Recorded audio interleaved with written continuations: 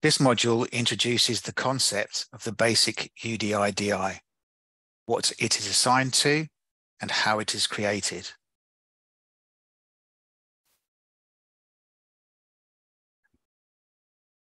This is an identifier introduced by the EU Commission as part of the UDI requirements of the EU medical device regulations and is the main key in the database and relevant documentation to connect devices with the same intended purpose, risk class, and essential design and manufacturing characteristics. That database is EUDAMED and is made up of six modules, all of which are connected via the basic UDI-DI. The basic UDI-DI will appear in the database and on documents such as the Declaration of Conformity for the product certification. Once the EUDAMED is in place, anyone entering the basic UDI-DI will be able to access all the documents and reports and all of the devices within the family of products.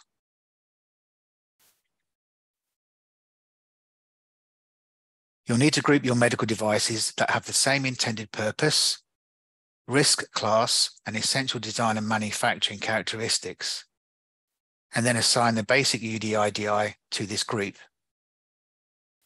It is separate from any packaging or labeling of the device itself and does not appear anywhere on the products or the labels or packaging. To summarize, it serves a regulatory purpose not for traceability. It connects devices with the same intended purpose, risk class, and essential design and manufacturing characteristics.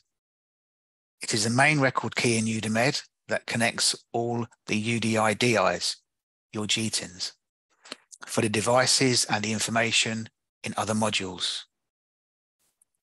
It is referenced in regulatory documents and is independent from labeling. And as a rule of thumb, it's not hard and fast, but it's a rule of thumb, is in general, it's one basic UDI-DI per declaration of conformity, because that declaration of conformity groups your products together by the same intended purpose, risk class, and essential design and manufacturing characteristics. Here's a graphical representation of how, the basic UDI-DI links to the different GTINs of the products and packaging levels within the group.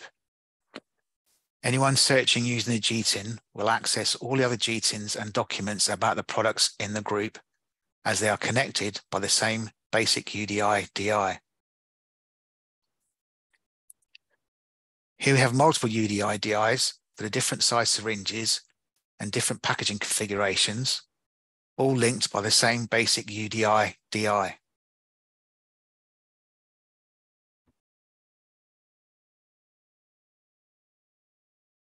In the same way as the requirement for the UDI DI is met by the GTIN using the GS1 standards, the requirement for the basic UDI DI is met by the global model number using the GS1 standards.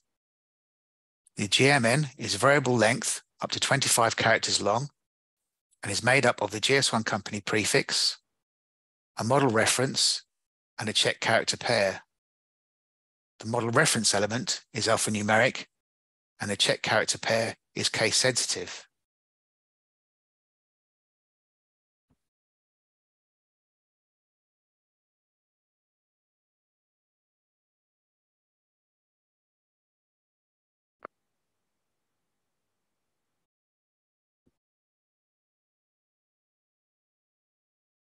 We start with the GS1 company prefix.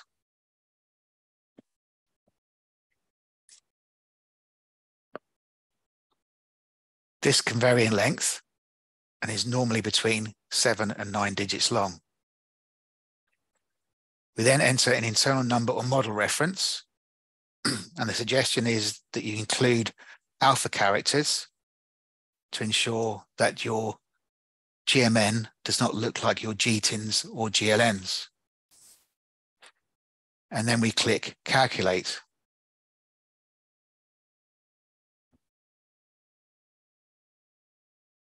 This is the basic UDI DI. You can then copy this key and place it into your internal systems.